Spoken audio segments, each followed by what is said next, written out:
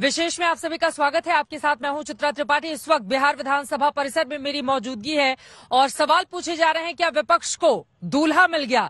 जी हाँ, ये सवाल इसलिए क्योंकि विपक्षी दलों की आज बड़ी बैठक हुई। सत्रह दल तीस से ज़्यादा सदस्यों के साथ 2024 के लिए हुंकार भर रहे थे, लेकिन बीजेपी की ओर से पूछा जा रहा था, बारात तो सजा दी गई है, लेकिन ये बताइए, दूल्हा कौन है?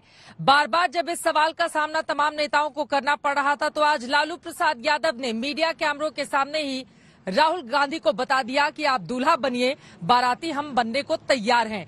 इसको लेकर किस तरह का जवाब दिया गया है लालू प्रसाद यादव की ओर से इस रिपोर्ट में देखिए। इंस्टीट्यूशंस पर आवाज़ पर बीजेपी और आरएसएस आक्रमण कर अलग अलग पार्टी के नेता हैं स्वाभाविक है हमारी विचारधारा अलग है। लोगों के साथ जो व्यवहार किया जा रहा है खासकर जो माइनॉरिटीज है पटना से जो शुरू होता है उसका एक जन आंदोलन रूप होता है। आखिर कौन होगा मोदी के खिलाफ विपक्ष का चेहरा? आखिर किसके चेहरे पर बनेगी विपक्ष की सहमति? मोदी के विजय रथ को रोकने के लिए तैयार विपक्ष के सामने सबसे बड़ी चुनौती है।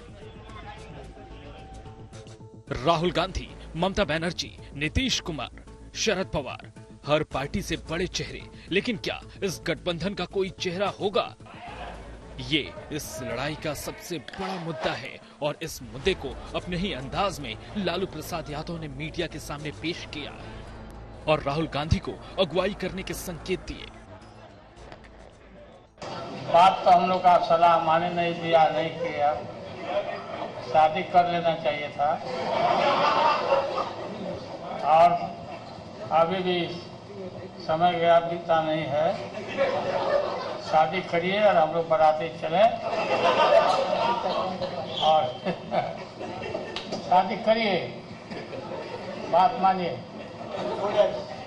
आपकी मम्मी मम्मी हमको बोलती कहते तो हो जाए। हाँ एकदम पक्का करना पड़ेगा।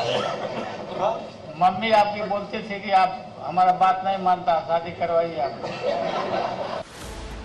बीजेपी लगातार सवाल कर रही थी कि आखिर विपक्ष के इस बारात का दूल्हा कौन है? लालू प्रसाद यादव ने उसी सवाल का जवाब देने की कोशिश की। महागठबंधन का ड्रामा ऐसा है जैसे बिना दूल्हे की बारात। आज हमारा एजेंडा विपक्षी बैठक का एक बनाम एक, यानी एक उम्मीदवार भाजपा के खिलाफ एक देने का। इसलिए कि भारत का संविधान और संवैधानिक संस्थाएँ भाजपा धीरे धीरे खत्म कर रही है। लोकतंत्र और लोकतांत्रिक संस्थाएँ खत्म होती जा रही हैं। महँगाई आसमान छू रही है। बेरोजगारी पिछले 40 साल में सबसे ज़्यादा हो चुकी है। जिस तरीके से किसानों पर गोलियाँ चली, साढ़े सात सौ लोग किसी न किसी तरह मारे गए, वो किसान को आज तक न्यूनतम समर्थन मूल्य नहीं मिला है। हमारी ये मुद्दे पंद्रह दल भले ही मोदी का विजय रथ रोकने के लिए मैदान पर उतरे हों, लेकिन बीजेपी लगातार पीएम के चेहरे पर सवाल खड़े कर रही है। ये दलदल में बना हुआ एक ऐसा ग्रुप है जिसकी न कुर्सी की टांगे हैं, सब टूटे हुए हैं, लेकिन सबके अंदर प्रधानमंत्री की चाहत है, जबकि वहाँ कोई वैकेंसी नहीं है। तो दिन में ख्वाब देखने की बात देखने दीजिए, मैंने कहा था। नीतीश जी, उनको आप यहाँ बुला रहे हैं, उनको अच्छा लिट्टी चोखा खिला दीजिए, शिलाव का खाजा खिला दीजिए अच्छा लगेगा हमें भी, और उनको विदा कर दीजिए। स्मृति ईरानी पूछ रही हैं, आखिर राहुल गांधी के अंदर मोदी के खिलाफ अकेले लड़ने की ताकत नहीं है। क्या अब उन्हें हार के डर से विपक्ष के गुट का सहारा लेना पड़ रहा है? यहाँ पे देश के सब ऑपोजिशन की पार्टियाँ आई हैं। एक साथ मिलकर हम बीजेपी को हराने जा रहे हैं। आपने देखा होगा कर्नाटक में बीजेपी के नेताओं ने बहुत लंबे भाषण किए। हर कोने में घूम लिए। और नतीजा आपको दिख गया कर्नाटक में क्या हुआ? हास्यास्पद है कि आज कांग्रेस की छत्र छाया में कुछ ऐसे नेता एकत्रित होंगे, जिन्होंने आपातकाल के समय में लोकतंत्र की हत्या का नज़ारा स्वयं देखा। यह हास्यास्पद है कि एकजुट होंगे वो लोग जो राष्ट्र को ये संकेत देना चाहते हैं कि उनकी स्वयं की क्षमता मोदी जी के सामने विफल है। आवाज़ पर बीजेपी और आरएसएस राहुल गांधी ने जहाँ सुबह से ही मोर्चा खोला बीजेपी पर आरोपों की झड़ी लगाई तो बीजेपी ने भी विपक्ष को भ्रष्टाचारियों की गठजोड़ बता दिया। पूरा देश समझ गया है कि नरेंद्र मोदी जी बीजेपी का मतलब सिर्फ़ दो तीन लोगों को फ़ायदा पहुंचाना देश का पूरा का पूरा धन उनके हवाले करना। कांग्रेस का मतलब गरीबों के साथ खड़ा होना गरीबों के साथ मिलना गले लगना और गरीबों के लिए काम करना। ये काफ़ी लोग कौन हैं जो परिवार निष्ठ पार्टियों के मुखिया हैं और उनकी राजनीति परिवार निष्ठ है। परिवार स्वार्थ परमो धर्मा। दूसरे कौन लोग जुटे हुए हैं?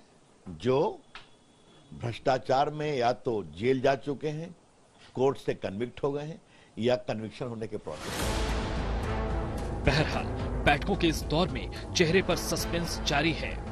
शरद पवार पहले ही चुनाव के बाद चेहरे का ऐलान करने की बात कह चुके हैं तो विपक्षी दलों की ओर से प्रेस कॉन्फ्रेंस में बार बार इस बात पर ज़ोर दिया गया कि 2024 के लिए हम सब एकजुट है। खासतौर से सबसे ज़्यादा ममता बनर्जी लगातार तीन बातें गिनाती हुई नज़र आई। ये कहते हुए कि पहली बात, हम सब एकजुट हैं 2024 में हराने के लिए। बीजेपी को हमारी बड़ी तैयारी है और उसके लिए आगे फॉर्मूला भी तय कर लिया जाएगा। लेकिन सवाल ये कि क्या वास्तव में इस फॉर्मूले को तय कर पाना इन तमाम दलों के लिए इतना आसान होगा? अब अगली रिपोर्ट।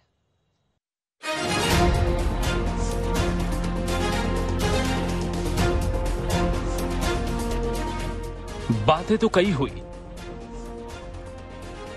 दावे भी कई हुए। साथ आने पर चर्चा हुई।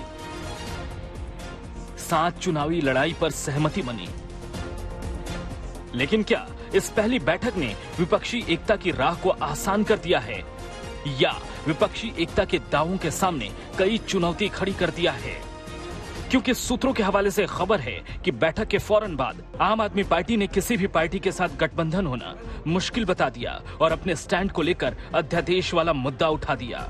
आपका कहना है कि कांग्रेस पहले अध्यादेश पर रुख साफ़ करे, फिर एक साथ आने पर बात बने। बैठक से पहले ही कांग्रेस अध्यक्ष मल्लिकार्जुन खड़गे ने अध्यादेश को लेकर अपनी राय रख दी थी, लेकिन बावजूद इसके अध्यादेश पर तनातनी दिखी।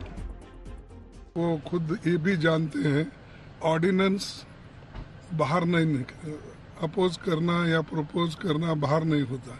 ये कहाँ होता है? पार्लियामेंट में होता है। जब पार्लियामेंट शुरू हो जाएगी, या उससे पहले सभी पार्टी के लोग मिलके जो हमेशा तय करते हैं एजेंडा किन किन बातों पे हम मिलके काम करना, किन बातों को छोड़ना, ये सारी चीज़ें शायद उनको मालूम है। तो सारे वो और उनके पार्टी के नेता भी हमारे ऑल पार्टी मीटिंग में आते हैं। तो देखेंगे अब ये क्यों ऐसा बाहर इतना उसका प्रचार हो रहा है, मुझे मालूम नहीं। आप पहले ही कांग्रेस से दिल्ली और पंजाब में सीटें छोड़ने की अपील कर चुकी है तो सवाल ये है कि अगर एकजुटता की ये कवायद आगे बढ़ती है, सभी पार्टियों का एक एजेंडा कैसे बनेगा? क्योंकि आप अध्यादेश पर समर्थन की मांग पर अड़ी है। वहीं समाजवादी पार्टी यूपी में गठबंधन का नेतृत्व चाह रही है। टीएमसी बंगाल में लेफ़्ट के साथ आने को तैयार नहीं। तो बंगाल में कांग्रेस नेताओं की बयानबाजी भी कुछ और कह रही है। केजरीवाल ने जैसे कहा था, बैठक से पहले कल भी कहा, उनकी पार्टी की ओर से भी कहा गया कि ऑर्डिनेंस पे राज्यसभा में बीजेपी को हराना सबसे ज़रूरी है। विपक्ष का जो लिटमस टेस्ट होगा, उसमें यही पता चल जाएगा 2024 से पहले कितना विपक्ष एकजुट है। और उन्होंने कहा था मेन मुद्दा ये होना चाहिए। लेकिन जहाँ तक आपने कहा नवीन पटनायक की बात है और चंद्रशेखर राव की बात है। चंद्रशेखर राव भी चाहते हैं कि बीजेपी को हराया जाए। उन्होंने पिछले दिनों कोशिश भी की थी, इससे पहले नीतीश कुमार से पहले बहुत सारे नेताओं को जाके मिले थे। लेकिन कुछ लोकल जो मजबूरियाँ हैं, उनकी पॉलिटिकल मजबूरियाँ चंद्रशेखर जो तेलंगाना की अगर बात की जाए तो कांग्रेस आमने सामने टक्कर में है। तो वहाँ पर एक दूसरे को कोसते रहते हैं। जैसे बंगाल में अगर देखा जाए, वाम वामपंथी और ममता बनर्जी और कांग्रेस, अधीर रंजन चौधरी ममता बनर्जी को लेकर कई तरह टारगेट करते रहते हैं। लेकिन 2024 ज- अगर नवीन पटनायक की बात की जाए नीतीश कुमार उनसे मिलने गए थे बाकी नेताओं के साथ साथ लेकिन उनके मिलने के बाद दोनों ने जो साझा बयान जारी किया था जो दोनों ने मीडिया को एड्रेस किया था उसमें साफ़ तौर से ये कहीं ज़िक्र नहीं आया कि विपक्षी एकता की बात हो। उधर जम्मू कश्मीर के नेशनल कॉन्फ्रेंस और पीडीपी अनुच्छेद 370 को सबसे अहम मुद्दा बता रहे हैं। एनसीपी नेता जाँच एजेंसियों का मुद्दा उठा रहे हैं। हालाँकि हर पार्टियाँ अपने अपने मुद्दों के साथ सबसे बड़ी लड़ाई बीजेपी को हराना बता रही है, लेकिन अलग अलग एजेंडे के चलते बीजेपी इन दावों पर सवाल उठा रही है। ये हास्यास्पद है कि एकजुट होंगे वो लोग जो राष्ट्र को ये संकेत देना चाहते हैं कि उनकी स्वयं की क्षमता मोदी जी के सामने विफल है।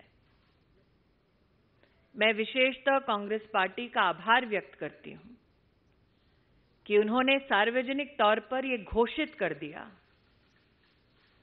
कि कांग्रेस नरेंद्र मोदी को हराने में अकेले नाकाम है, उन्हें सहारे की ज़रूरत है। यही विपक्षी एकता की इस करार में आपसी तकरार सबसे बड़ी चुनौती बन सकते हैं तो एकता के तमाम दावों के सामने मुश्किल खड़ी कर सकते हैं। पटना से रोहित कुमार सिंह, सुचित झा, अशोक सिंघल, मौसमी सिंह के साथ चित्रा त्रिपाठी आज तक। विपक्षी एकता की बैठक में आम आदमी पार्टी के मुखिया अरविंद केजरीवाल, भगवंत मान, संजय सिंह, राघव चड्ढा भले ही मौजूद रहे हों, लेकिन जब प्रेस कॉन्फ्रेंस हुई तो कोई भी नेता उस दौरान मौजूद नहीं था। इसको लेकर तरह तरह के सवाल पूछे जा रहे थे कि आखिर आपका नेम प्लेट गायब क्यों है? अध्यादेश के मुद्दे पर वैसे भी लगातार आम आदमी पार्टी, कांग्रेस पार्टी को आँखें दिखा रही है। ऐसे में आपका वहाँ पर नहीं होना आखिर क्या दर्शाता है? मेरी सहयोगी मौसमी सिंह की ये रिपोर्ट देखिए।